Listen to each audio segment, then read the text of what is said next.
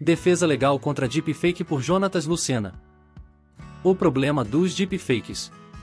Deepfakes são criados com softwares avançados que manipulam conteúdo visual e auditivo de maneira tão convincente que se torna difícil distinguir o real do falso.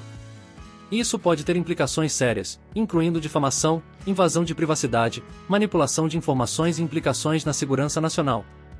Defesa legal contra deepfake. O uso mal intencionado de deepfakes pode violar várias leis, incluindo direitos autorais, leis de difamação e leis de privacidade. Além disso, pode haver questões relacionadas à falsidade ideológica e à fraude. Identificar e processar esses casos, no entanto, apresenta desafios únicos devido à natureza sofisticada e frequentemente indetectável da tecnologia de deepfake.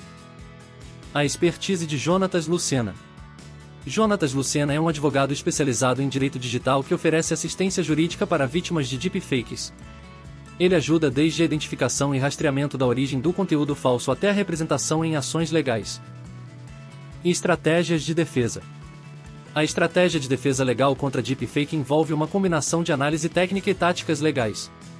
Isso inclui o uso de peritos em tecnologia para identificar e autenticar conteúdos suspeitos, bem como a aplicação de leis existentes para responsabilizar os infratores. Lucena enfatiza a importância da conscientização e educação, tanto para o público quanto para os legisladores, sobre os riscos e implicações dos deepfakes.